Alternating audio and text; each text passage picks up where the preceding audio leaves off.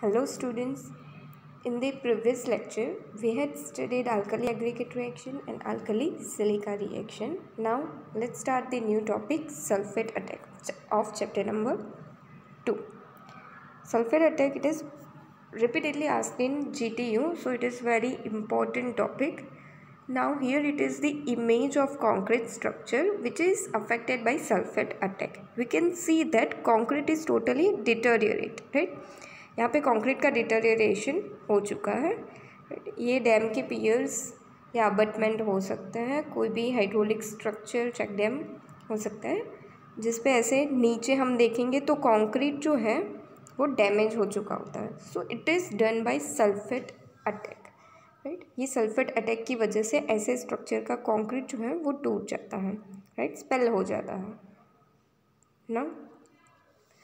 Sulphate attack कैसे होता है? तो sulfates are present in groundwater and most of the soils. Uh, sulfates like the calcium, sodium, potassium and magnesium.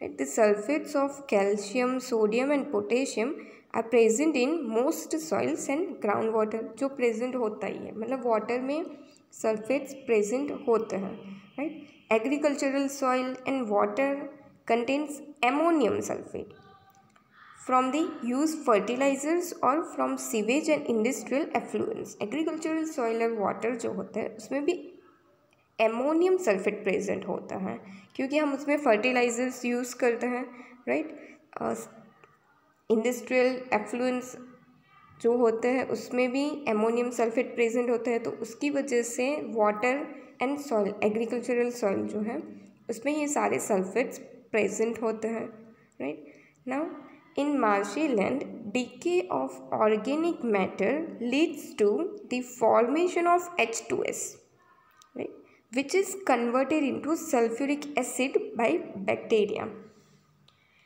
Organic matter जो होता है उसके डीके से क्या होता है एच टू एस फॉर्मेट होता है तो एच टू एस क्या करेगा वो बैक्टीरिया के साथ बैक्टीरिया उस एच टू एस को कन्वर्ट कर देंगे सल्फ्यूरिक एसिड में राइट सल्फ्यूरिक एसिड होगा।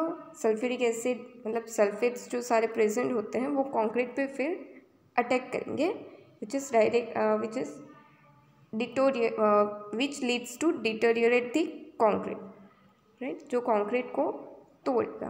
तो कौन कौन से अफेक्ट नहीं करते, वो हम देखेंगे।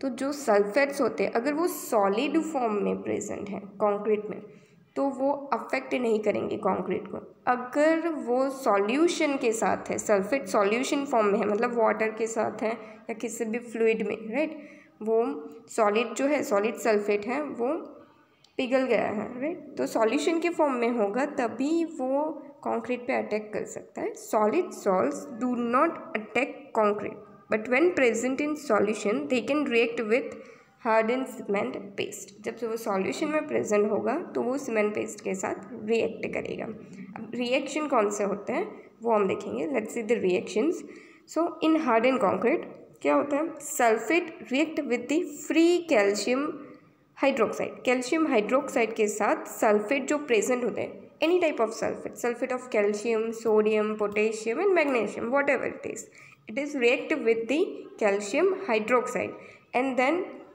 क्या बनाते हैं? Gypsum. Gypsum means calcium sulphate calcium hydroxide है। वो सल्फेट के साथ रिएक्ट करके कैल्शियम सल्फेट बन जाता है राइट तो जिप्सम बन जाता है। वैसे ही कैल्शियम एल्यूमिनेट हाइड्रेट प्रेजेंट होता है सीमेंट पेस्ट में। C A H calcium aluminate hydrate वो सल्फेट के साथ रिएक्ट करके क्या बनाएगा? कैल्शियम सल्फो एल्यूमिनेट सल्फेट जो है वो रिएक्ट करेंगे calcium aluminate hydrate C A H के साथ और बनेगा क्या कैल्शियम सल्फो एल्यूमिनेट अब ये जो calcium sulpho aluminate and gypsum है, उनका वॉल्यूम कितना होगा? तो जो ओरिजिनल हमारे कैल्शियम हाइड्रोक्साइड है राइट सी ए एच है, उसके वॉल्यूम से one one seven percent volume ज़्यादा होगा। मतलब जो प्रेजेंट थे right? C A O H two and C A H वो कन्वर्ट हो जाता है gypsum and calcium sulpho aluminate respectively right उसमें वो फॉर्म हो जाता है। तो जो बनता है, उसका volume one one seven percent ज़्यादा होता है। मतलब क्या करेगा? वो कंक्रीट को तोड़ेगा प्रेशर जनरेट करेगा, क्योंकि वॉल्यूम बढ़ रहा है राइट हमें जो प्रोडक्ट मिल रही है calcium sulpho aluminate and gypsum उसका volume one one seven percent ज़्यादा है राइट तो यही यहाँ पे लिखा है the produce of the reactions gypsum and calcium sulphonate sulpho aluminate have a considerable greater volume than the compounds they replace so that the reactions with the sulfates lead to expansion and disruption of the concrete जैसे ही volume बढ़ेगा expansion होगा right expansion होगा तो concrete टूटेगा of all the sulfates, magnesium sulfate causes maximum damage to concrete. Magnesium sulphate अगर present है तो वो कंक्रीट को सबसे ज़्यादा डैमेज कर सकता है राइट मतलब कैल्शियम सोडियम पोटेशियम से सबसे ज़्यादा डेंज डैमेज मैग्नीशियम सल्फेट करता है right now With the increase in the strength of solution, the rate of sulfate attack increases. तो सल्फेट अटैक का रेट कैसे इंक्रीज होगा? अगर सल्फेट ज़्यादा प्रेजेंट होंगे मतलब सॉल्यूशन ज़्यादा है सल्फेट का तो सल्फेट अटैक भी उसकी रेट भी इंक्रीज ही होगी right beyond a concentration of about point five percent of M G S O four right magnesium sulfate or 1% of sodium sulfate Na2SO4 the rate of increase in the intensity of the attack becomes smaller 0.5 percent magnesium sulphate और one percent sodium sulphate होगा तो rate जो है sulphate attack की वो थोड़ी सी कम होगी राइट अटैक तो हो गई सल्फेट अटैक तो हो गई बट रेट थोड़ी सी कम होगी। Attack of magnesium sulphate to concrete with higher water cement ratio can cause serious damage to concrete. Magnesium sulphate वैसे भी डैमेज ज़्यादा करता है कंक्रीट को compare to other sulphates right but with the high water cement ratio अगर water ज़्यादा है water cement ratio ज़्यादा है तो क्या होगा? कंक्रीट का डैमेज बहुत ज़्यादा बढ़ेगा right However, if concrete is made with low water cement ratio, the concrete can uh, withstand the action of magnesium sulfate sulfate for two to three years अगर हम वाटर सीमेंट रेशियो एक कम रखते हैं तो concrete क्या करेगा जो सल मैग्नीशियम सल्फेट से मैग्नीशियम सल्फेट जो अटैक करता है कंक्रीट को उसे हम टू टू थ्री ईयर्स तक रोक सकते हैं right we can withstand the action of magnesium sulfate for 2 to 3 uh, uh, 2 to 3 years with by using low water cement ratio मतलब हमें water cement ratio कम रखना है ज़्यादा नहीं रखना है जिससे हम सल्फेट अटैक रोक सकते हैं right Now, sulfate attack is greatly accelerated if accompanied by alternate wetting and drying. Which normal takes place in marine structure in zone of tidal variation.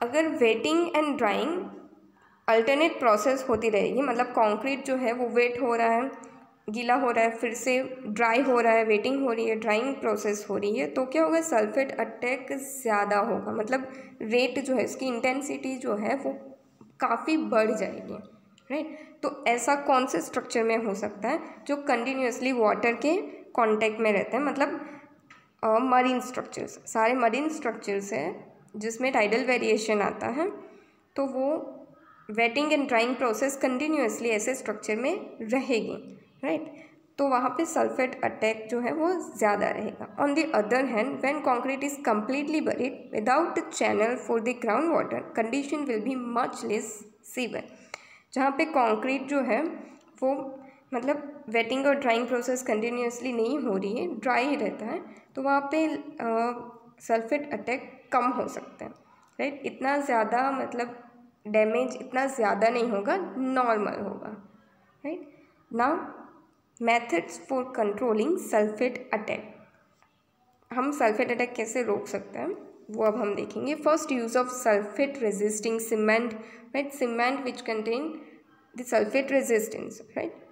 Addition of pozzolana if you remember then alkali aggregate reaction, alkali silica reaction, हम admixtures में pozzolana use करते हैं, जो इन सारे reactions को रोकते हैं। Alkali aggregate reaction को भी अल्कली सिलिका रिएक्शन को भी। Now for sulphate attack also अगर हम पोजोलोना ऐड करते हैं कॉन्क्रीट में देन सल्फेट अटैक को हम रोक सकते हैं कुछ हद तक right addition of pozzolana quality of concrete concrete की क्वालिटी अच्छी होनी चाहिए यूज़ ऑफ़ एयर एंट्रेनमेंट मतलब वो एयर वेट्स होने चाहिए right high pressure steam curing use of high alumina cement lining of polyethylene sheet right तो इस तरह से हम सल्फेट अटैक को रोक सकते हैं। Now the topic of sulphate attack is complete now next acid attack तो एसिड अटैक में क्या होता है? Concrete is use for the storage of many kind of liquids some of which are harmful to concrete right concrete जो है, वो बहुत सारे स्ट्रक्चर्स में मतलब नॉर्मली ऑल स्ट्रक्चर्स में कॉन्क्रीट यूज़ होता है और बहुत सारे ऐसे स्ट्रक्चर्स हैं जो लिक्विड को स्टोर करते हैं राइट अगर इंडस्ट्रीज़ में जाए तो बहुत सारे ऐसे स्ट्रक्चर्स हैं जिसमें एसिड भी प्रेजेंट होते हैं और बहुत सारे लिक्विड होते हैं, जो लिक्विड जो है कंक्रीट के लिए हार्मफुल हो सकते हैं। In industrial plants concrete floors come in contact with acids which damage the floor right तो जो एसिड है, वो कंक्रीट के कांटेक्ट में आते ही कंक्रीट को डैमेज करता है। लाइक अगर कंक्रीट फ्लोर है, हम इंडस्ट्री में जाते हैं तो फ्लोर भी कंक्रीट के होते हैं। बाकी सारे स्ट्रक्चर्स जिसमें लिक्विड स्टोर होते हैं टैंक राइट वो भी कंक्रीट की होती हैं। So this all structures are affected by acid attack और resulting in damage right like floors Now in practice, acid attack occurs at values of pH below about 6.5. अगर pH value 6.5 से कम होगी तब एसिड अटैक हो सकता है। But acid attack is severe only at pH value below 5.5 but ज़्यादा damage कब हो सकता है? कि पीएच वैल्यू हमारे 5.5 से कम है। At pH value below 4.5 attack is very severe अगर 4.5 से भी पीएच वैल्यू कम है तो एसिड अटैक का जो डैमेज रहेगा, वो बहुत ज़्यादा बढ़ जाएगा। मतलब फाइव पॉइंट फाइव तक ठीक है डैमेज होता है। अगर pH value four point five से भी है मतलब बहुत एसिडिक है राइट सॉल्यूशन जो कि कंक्रीट में कंक्रीट के साथ कांटेक्ट में आता है। वो बहुत ज़्यादा एसिडिक है मतलब पीएच वैल्यू जितनी कम होगी, उतनी एसिडिटी ज़्यादा रहेगी राइट वो उतना एसिडिक ज़्यादा होगा। तो पीएच वैल्यू 4.5 से कम होगी तो जो डैमेज है वो बहुत ज़्यादा सिवर रहेगा।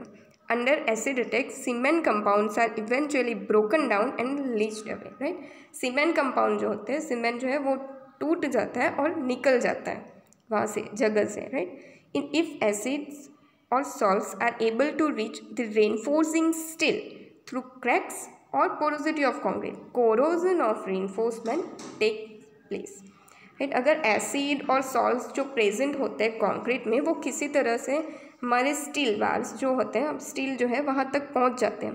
कैसे तो क्रैक होगी या फिर कॉन्क्रीट पोरो पोरोसिटी होगी, ज़्यादा होगी कंक्रीट में राइट वॉइट ज़्यादा होंगे, जिसकी वजह से वो रेनफोर्समेंट तक पहुँच जाते हैं। अगर रेनफोर्समेंट स्टील बार के साथ कांटेक्ट में ऐसी रहता है तो स्टील बार क्या हो जाएँगे? कॉरोजन कोरोड हो जाएँगे राइट तो हमारा अगर स्टील बार कॉरोजन होता है मतलब स्ट्रक्चर की डक्टिलिटी कम होती है स्ट्रक्चर जो है वो फेल होने में मतलब बहुत टाइम नहीं लगेगा, अगर हमारा रेनफोर्समेंट ही कॉरोजन होना शुरू हो जाए तो right